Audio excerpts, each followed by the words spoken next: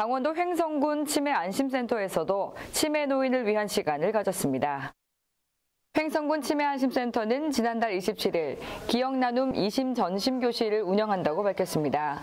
지난 8월 22일부터 10월 31일까지 총 6회에 걸쳐서 진행되는 이번 교실은 치매 노인과 가족 대상으로 초기 치매 노인을 강사로 초청해서 진행하는 시범 교육 사업입니다.